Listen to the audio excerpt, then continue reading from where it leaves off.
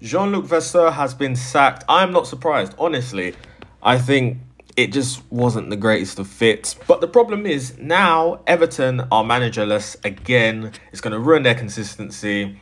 Well, the, the consistency that they were trying to get. And what manager is going to come in now? Apparently, the players weren't happy with his training methods. And if you're getting sacked from Lyon with the team that they have, I just didn't think he was going to be able to inspire this Everton team. Everton are 10th right now for a team that invested as much as they have, you really don't expect them to be 10th. What do you guys think? Let me know in the comments. Who should be the next Everton manager?